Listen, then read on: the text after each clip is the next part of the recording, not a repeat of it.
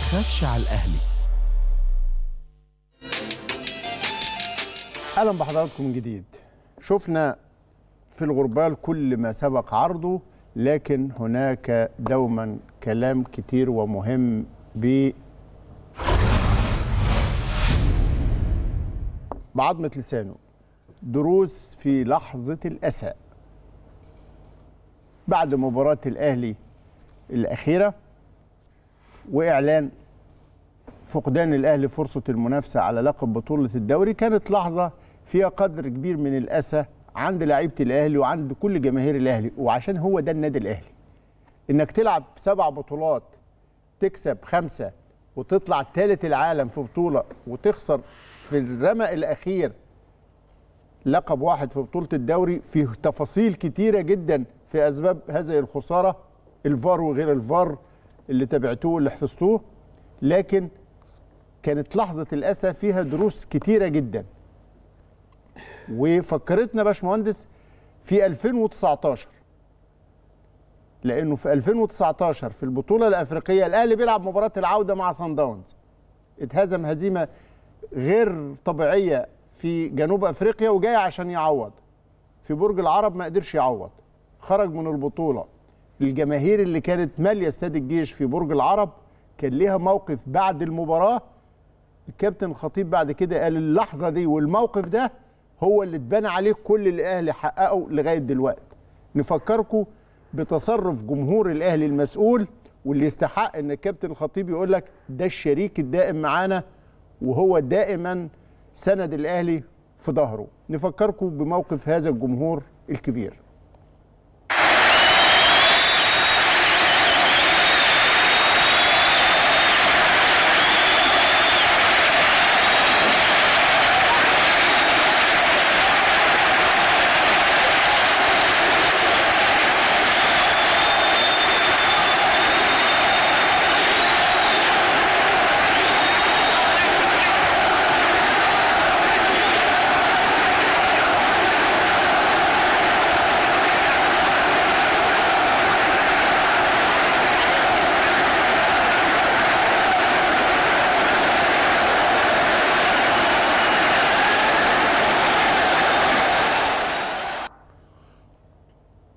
هو انت أنا فاهم انت جبت اللقطة دي ليه. إن المسألة مش بس دي ثقافة إدارة دي ثقافة جماهير. أيوه. اللي هي بتدب... وده اللي أنا بقول لك لما يكون قياداتك ملتزمة جماهيرك بتلتزم. ال ال الأمر مو... في في في بتتأسى. انت انت لازم تكون بتدي النموذج ها؟ إنك لا تقبل الهزيمة لا تقبل الخطأ لا. وبعدين ولا تقبل التبرير. آه في في أسباب. بس عملت إيه؟ عملنا آه موسم انتقال مرعب بعديها. أيوه بنى اتبنت الفرقة دي. وقدرت الفرقة تبتدي تتدارك أمورها وت- وترجع وتكسب وتحقق. والحمد لله إن إحنا وصلنا آه إلى هذه اللحظة. حاجة يعني لازم نفخر بيها كلنا ولازم نفهم إنك خد بالأسباب. ولما كلمة خد بالأسباب دايما تيجي يعني حتى ادعي ادعي لربنا ولحي في الدعاء. ما تجيش تدعي النهارده وتيجي بكرة الصبح تقول ما أنا دعيت إمبارح وما فيش حاجة حصلت. يعني حتى في الأمور هي تراكمية هي في الآخر بتخليك تتحمل أعباء الحياة. وبعدين لما بيجي لك المردود افتكر بلحظة الدعاء. جت في التوقيت ده لأن تفيدك أكتر. إحنا النهارده لما بناخد بالأسباب بنشتغل وبنعمل الصح وبنمشي صح وما بنعملش حاجات آه، ارضاء ودغدغة مشاعر الجماهير وبس. لا بنشتغل. لأصل الموضوع للكيان للنادي. بنشتغل في الشيء الح... الحقيقي. مش إن أنا أقول لك كلمتين تنبسط مني فيهم. واحفل على حد في في في لحظة آه، انتصار يبقى أنا كده عملت لك اللي أنت عايزه.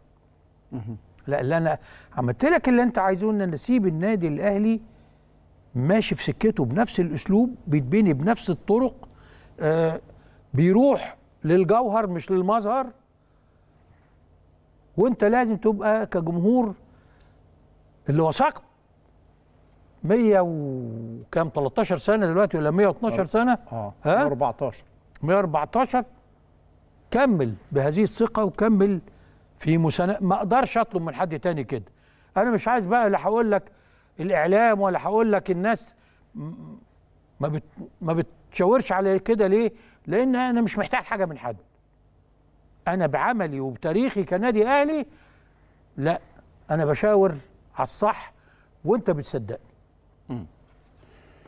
الأهلي بيتعادل في لحظة غريبة وعجيبة مع الجونة بيخرج من السبق تماما ومباراة دراماتيكية غريبة لغاية المباراة الوقت القانوني بتاعها الأهلي كسبان 3-1 فجأة الأمور تتحول بشكل غير عادي. وبدل ما كنا بنلعب خمس دقائق وقت ضايع اللي الحكم رافعهم بقينا بنلعب للدقيقة 100 للدقيقة 100 لكن ماشي أسباب كتيرة. ده 101 آه 101 لكن فجأة يظهر في الكادر لقطة مش معتادة. الناس استغربت هو إيه اللي بيحصل؟ هو في إيه اللي هيحصل؟ فجأة الكابتن محمود الخطيب اللي برضه مجرد حضوره مع الفريق في الجونة في مباراة تبدو غير مؤثرة في صراع الدوري دي كانت رسالة أخرى مهمة للعيبة. إحنا معاكم في كل الأحوال ثقتنا فيكم بلا حدود.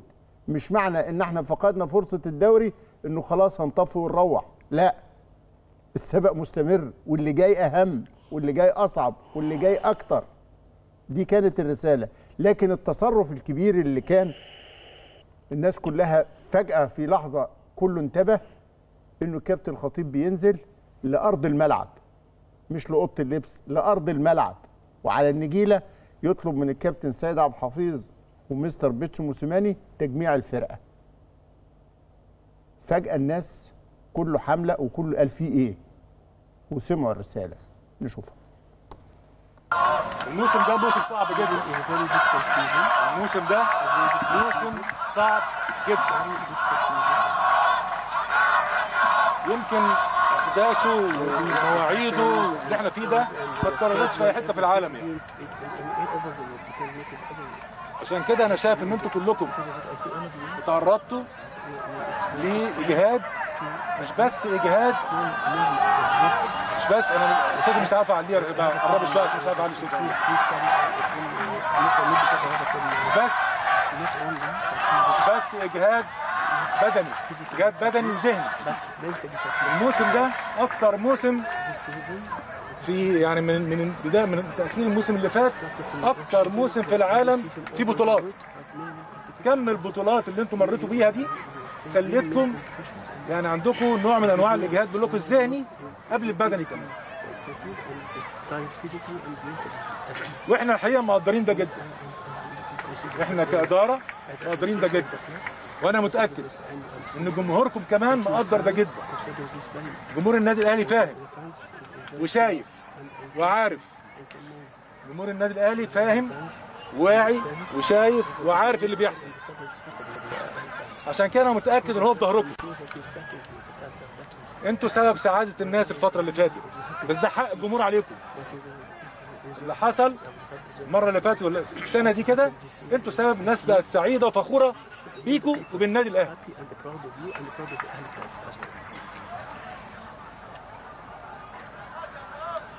وهنا عايز أقول حاجة.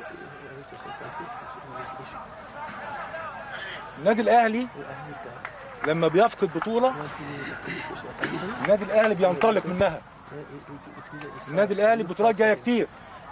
وعندنا بطولات كتير. لازم تبقوا فاهمين ده؟ ولازم تفرحوا جمهوركم.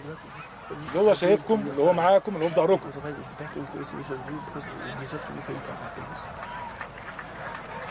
كمان في ظروف يمكن خارجة عن إرادتكم وإرادتنا الناس. عشان كده بقول لكم الناس شايفة وعارفة. بس إحنا كمان من دلوقتي في اللحظة اللي بقول عليها دي إحنا كمان لازم نكون بنفكر إحنا ليه في بعض المباريات إحنا كان يجب تركيزنا يبقى زيادة شوية. كان يجب اهتمامنا يبقى زيادة شوية. كان يجب ده. خلاص بس دي الكورة. أحيانا مفيش توفيق. دي الكورة.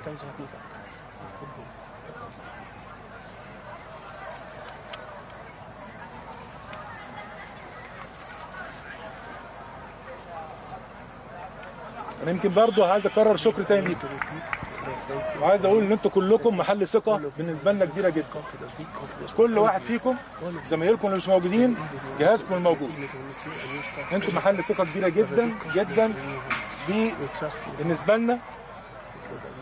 كمان عايز أقول لكم حاجة. اوعوا تنسوا يا رجالة اوعوا تنسوا يا رجالة إن أنتوا حققتوا رباعية. اوعوا تنسوا يا رجالة إن أنتوا أبطال أفريقيا مرتين ورا بعض. ما بتحصلش دي كتير. اوعوا تنسوا يا رجالة إن أنتوا تاخدوا مركز ثالث في العالم برونزية العالم تاني مرة. الجيل اللي قبليكم اللي سبقكم. هو ده النادي الأهلي. اوعوا تنسوا يا رجالة إن أنتوا أبطال السوبر. ما تنسوش ده. ترفع راسك أنت أهلاوي. ترفع راسك أنت في الأهلي. لازم تبقى فخور بده. زي ما الأهلي فخور بيكم أنتوا كمان لازم فخورين إن أنتوا جوه النادي الأهلي. طيب ده الجزء الأولاني من الحديث. مم. بداية إحنا سمعنا هو قال إيه؟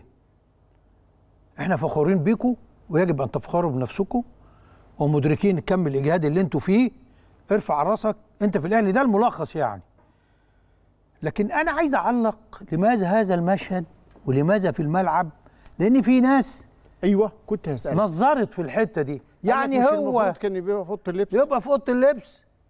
لا هو في تعمد إنه يكون في الملعب لسببين مهمين جدا. أيوه. السبب الأولاني المنطقي عايز يلحق قبل ما يخش أوضة اللبس ربما يحدث نوع من الحزن والانفلات وبتاع والعتاب والكلام ده هو عايز يوصل رسالة بسرعة. قبل ما ما ما, الفرقة تنزل واللي يقلع يقلع واللي يبتدي يتكلم يتكلم واللي عايز يقول يقول وابتدي تاني أرجعهم إزاي لحالة من إيه؟ الانتباه وال- والتركيز. لكن الأهم من كل ده يا جماعة والله لو ت- لو تتمعنوا في الكلام هو أراد أن يشرك الجماهير في هذه اللحظة. لأنه عارف إن الجمهور هو شريك. وقال لهم جماهيركم بتثق فيكم وإحنا بنثق فيكم وجماهيركم فخورة بيكم. هل وكان مردود اللقطة دي إيه؟ لما تسمع الهتافات وراه. ده مجرد ما بيقول لهم الجمهور بدأ يهتف على الحلوة والمرة معاه قال لهم بصوا. قبل ما أقولها. هو عايز يفهمهم. أيوه. أهو الجمهور أهو من غير أنا لسه ما قلتش. أيوه. عايز يقول لهم جمهوركم معاكم. لكن اللي هيتقال في بقية الكلام ده المهم. ده مهم اللي فات. خلاص. وما نسيش يقولوا ولو إن ما كانش ينبغي يحصل إن في حاجات تقع مننا كان ممكن نبقى إحنا وضعنا أحسن من كده كتير. في حاجات وقعت من يعني برضو حتة لكن لأ. وإحنا بنخلي بالنا ونقول أسباب كان يجب تركيزكم يكون أحسن. أحسن من كده. اذا هي دعوة. حتى اللوم هنا في قدر من ال- الوضوح وال- واللطف. واللطف مفيش بس قسوة. لا تكير لأنه لا كان يجب تركيزك يكون أحسن. آه يعني إحنا مسؤولين برضه أيوه. على الموقف ده. مم. وده مهم جدا. مشاركة الجماهير في إن إحنا شايفين كل حاجة دي حاجة مهمة جدا. طيب. هي هي في ده تفسير رائع جدا من المهندس عدلي بس أنا وجهة نظري كمان اللي بضيف بيها على المهندس عدلي هو الكابتن الخطيب كان حابب إنه ما تحصلش لحظة انكسار. أيوه. فعايز يلحق لا عند اللعيبة- اللعيبة ولا عند لا الجمهور. عند اللعيبة ولا عند الجمهور آه. ولا عند أي واحد أهلاوي. كان مهم يسمعوا الل- ولذلك حتى التعبير بتاع ارفع راسك أنت أهلاوي ده تعبير فيه قدر عالي من الشموخ والكبرياء والروح الرياضية. الروح الرياضية اللي هي ما ينفعش لما تفقد لقب تنكسر وتنهزم وتخسر لأنك هتخسر أكتر. هي دي رسالة أهلاوي رياضي أو رياضي أهلاوي. المعنى العام في الرياضة اخسر وانت رافع راسك. وبتجاوب لماذا هذا الكلام في الملعب؟ وللعيبة على أرض الملعب في النجيلة لأنه مش معتاد. هو هي اللقطة هو الطبيعي إنه يدخل أوضة اللبس بس غير الطبيعي إنه ينزل أرض الملعب. فاللحظة استثنائية عشان كده الشكل فيها استثنائي. وكان في تنطوي على رسائل. وفيها رسائل ومسافر الكابتن الخطيب رغم كل الظروف دي مسافر الجونة مع الفرقة ورا الفرقة علشان يكون معاهم في اللحظة دي. ايا كانت النتيجة يعني أنا في تقديري الأهلي لو كان المباراة خلصت 3 1 زي ما هي كانت اللعيبة هتسمع نفس الكلام والكابتن الخطيب هيعمل نفس الحاجة لسبب بسيط. لاحظوا إنه جاي مرتب أفكاره في ورقة. أيوه. فدي ملهاش علاقة مش. عشوائية. أما لهاش علاقة بالنتيجة لا. دي ليها علاقة بالمسؤولية. ليها علاقة بالمسؤولية عن الظرف ده.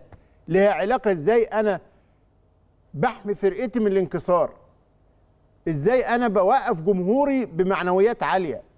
إزاي مش هسيب جمهوري ولا أسيب لعيبتي الناس هتضغط عليهم وهتعايرهم وتحسسهم إن الدنيا باظت رغم إنك أنت واخد ست بطولات أو خمس بطولات وبرونزية العالم من الست من السبعة. فمش هسيب لعيبتي فرصة أو فريسة لأي محاولات زي كده.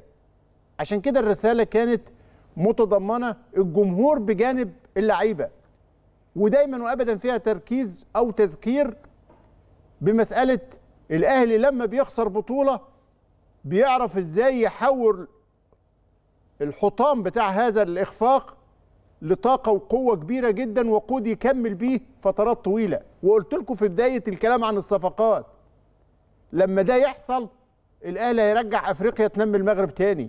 هيلعب يحقق من البطولات بالأرقام القياسية اللي إن شاء الله تعالى هتخلي كل أهلاوي وكل مصري فخور إنه مصر فيها هذا النادي اللي بينافس على صدارة أندية العالم. هي دي اللحظة. لكن كمان ما أعفاش اللعيبة من المسؤولية. ودي كمان كلمة مهمة للعيبة لأنه في مباريات كتيرة خسرناها. زي ما الكابتن الخطيب قال لهم كان يجب إن التركيز يكون أحسن كان يجب الانتباه بتاعنا يكون أحسن. فده اللوم المبطن اللطيف اللي مش عايز يجرح اللي بيداوي اللي بيمسح دموع لاعيبته بس في نفس الوقت بيحط كل واحد فيهم قدام مسؤولياته. وفعلا لو راجعنا كتير من التفاصيل في المباريات لا عندنا أخطاء. عندنا أخطاء كان ممكن ما نقعش فيها بس هي دي الكورة. لأنه رجع قال لهم بس هي دي الكورة. ككابتن كبير وكواحد من أمهر إن لم يكن أمهر من لعب الكره في مصر مدرك إنه في النهاية دي كورة. مش بنتكلم في كيمياء علشان تعمل معادلة كيميائية فلازم أنا هتطلع لك نتيجة حتمية. لا دي كورة فيها كتير من الأسباب اللي ممكن تدي اللي عليك وفي النهاية فريق تاني يكسب لأنك فقدت التركيز أو لأن أنت ما أديتش المطلوب. وبيرجع يقول للعيبة بس ثقتنا فيكم كبيرة. ده كان مهم جدا في بقية الرسالة اللي هتسمعوها. بص يا رجالة أنا من من سنة ونص أو سنتين. أنا قلت لكم إيه؟ قلت لكم أنتوا أحسن مجموعة موجودة في القارة الأفريقية. أنا قلت الكلام ده من سنة ونص أو سنتين. لأن أنا كنت عارف عارف قدراتكم. وعارف أنتوا إزاي المجموعة دي لما بتبقى مقفولة كده يعني بنعمل إيه؟ أعتقد الكلام ده كان حقيقي دلوقتي إن أنتوا أفضل ناس موجودة في القارة. عشان كده يا رجالة لازم قلت لكم ما تخلوش حد يعني يسرق منكم فرحتكم. الجمهور ده اللي هو بيهتف لكم دلوقتي بيهتف لكم. ده ليه حق علينا. اللي إحنا نفرحه بقى في اللي جاي. الجمهور ده اللي بيهتف النهارده ده هو ليه حق علينا. الجمهور ده يا رجاله هو الشريك معانا. وهو السند. وهو معاكم صانع بطولاتكم وبطولات النادي الأهلي من 1907 الأهلي من 1907 بيمشي بال- بالحب ده بالمجموعة دي. هو ده النادي الأهلي هو ده التاريخ كبير هو ده التاريخ اللي لازم تفخروا بيه. والناس تفخر كمان إن هي بتنتمي للنادي الأهلي. جمهورنا فخور بده. إنه عارف النادي الأهلي يعني كل كام سنة كده ممكن حاجة يعني تعدي. يا رجالة ده شيء مهم. كل اللي أنا عايز أنا. بص بيقولوا إيه أنا لسه هقول جملة هم بيقولوها. لسه عايز أقول لكم إزاي نفرح الناس دي. البطولات اللي جاية في بطولات كتير كتير كتير جاية. إزاي نفرح الناس دي؟ أنا الحقيقة بس إحنا غصب عننا. النادي الأهلي. ما بيتركش ما بيسيبش حقه. أنا مش عايز أعلق على الكلام ده دلوقتي. لكن كمان عايز أقول لكم حاجة مهمة جدا. إحنا قصرنا معاكم. إحنا قصرنا معاكم. إن إحنا كنا عايزين فرقة زيكم مجموعة زيكم أفراد زيكم كان يجب إن إحنا نحتفل بيها بالتسعه لازم نحتفل بالعشره لازم نحتفل بالبرونزيه لازم نحتفل بالسوبر. لازم نحتفل بيكم. ما كانش في وقت. التلاحم ده اللي كان موجود. ما كانش في وقت. عشان كده أنتوا حقكم علينا النهارده إن إحنا نعمل لكم احتفالية نكرمكم فيها. احتفالية نكرمكم فيها. لأن أنتوا تستحقوا ده. كل أنا عايز دلوقتي منكم خلاص. خلص اللي خلص انتهينا فكروا في اللي جاي. كويس. فكروا في إسعاد جمهوركم. فكروا في كتاب التاريخ ليكم جديد. فكروا في ده. وانتوا تقدروا تعملوا ده. المجموعة دي تقدر تعمل ده. كتاب التاريخ جديد ليكم لناديكم تقدروا تعملوه ارفع راسك. انت أهلاوي. كلمة الأهلي دي كبيرة جدا. كبيرة جدا. خلاص انتهى انتهى. نبص للي جاي رجاله إن شاء الله قريب هنعمل حفله تكريم لحضرتك بس نشوف المواعيد عشان نظبط ميعاد كلكم موجودين بتوع المنتخب أو الانتخابات اللي معانا المحترفين. نقدر إن إحنا نظبط بس الميعاد في ميعاد مناسب إن شاء الله. حتى مش عارفين لسه الارتباطات اللي جاية شكلها عامل إزاي. تاني بقفل إن أنا أشكركم. وإحنا مقدرين مجهودكم اللي فات. وجمهوركم مقد- مقدر مجهودكم ما كانوش يبقوا بالشكل ده. الموضوع خلاص فكر في اللي جاي. بكرة الصبح كده كل الناس تفكر إحنا هنعمل إيه الفترة اللي جاية إن شاء الله. وتقدروا تعملوا كتير إن أنتوا تستحقوا ده وتقدروا تعملوا ده. وأنتوا جوه النادي الأهلي. ماشي يا رجالة. عايزين نقف مع بعض كلنا ونقرأ الفاتحة ونوعد من هنا من المكان اللي إحنا فيه دلوقتي ده اللي جاي هيبقى عامل إزاي. نوعد جمهورنا بإيه.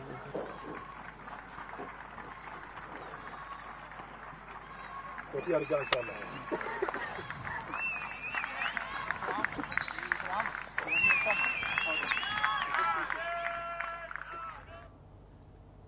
يا اللي بتقول ليه ما اتعملتش في أوضة اللبس عشان دي؟ عشان هذا العهد الذي يقدمه رئيس النادي ولاعبوه إلى جماهيرهم. قال لهم مقدرين اللي فات ومستنيين اللي جاي. على قدر جمهوركم وعلى قدر ثقته فيهم لازم تفرحوه. دي رسائل مهمة جدا جدا جدا. وإن الفاتحة اتقرت قدامكم كلكم أهو. وبعدين ما تنسوش يا جماعة هو لما بيقول اللي فات مقدرينه ومقصرين إن إحنا ما احتفلناش لضيق الوقت بواحد اتنين تلاتة أربعة خمسة كل ده كان لازم نحتفل بيه. اسمعوا الكلام والتعداد بالبطولات اللي فاتت. لكن قال لهم إيه بقى؟ المهم اللي جاي انسوا اللي فات. تعالوا نتكلم الجاي. إيه هو اللي جاي؟ ثلاث بطولات. كاس سوبر واثنين سوبر. وربما بإذن الله سوبر رابع. يعني في سوبر مصري قديم ما اتلعبش في سوبر افريقي جديد ما اتلعبش وفي سوبر مصري هيتلعب أو مش هتل... ما نعرفش بقى على ضوء الاجتماعات اللي إيه اللي هي هتتعمل يوم الأحد. يوم الأحد. هنعرف الدنيا ماشية فيه كاس وفي سوبر وإمتى وإزاي وفين والكلام ده. حسب برضو اتحاد الكورة عنده تخمة آه قرارات والتزامات وبتاع. يعني ننتظر يوم الأحد. اذا في بطولات قادمة لابد إن إحنا نعد جمهورنا هنعمل فيها إيه. هذا حديث كاشف وهام انتهى بعهد ووعد ملزم بإذن الله يتحقق على أرض الواقع. وكانت معاهدة الجونة معاهدة البحر الأحمر اللي رئيس النادي يقرأ الفاتحة مع الجهاز واللعيبة